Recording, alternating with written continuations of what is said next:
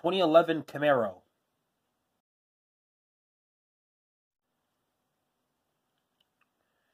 John Moxley's finisher move in All Elite Wrestling, the Paradigm Shift.